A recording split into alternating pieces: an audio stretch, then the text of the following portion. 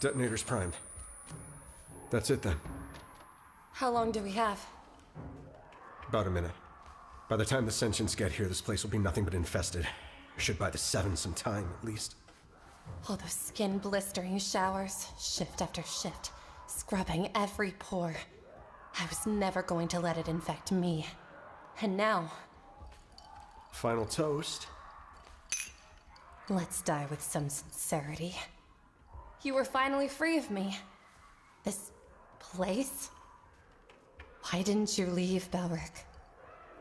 Because I never forgot the first time I saw you. Too sincere? I should have.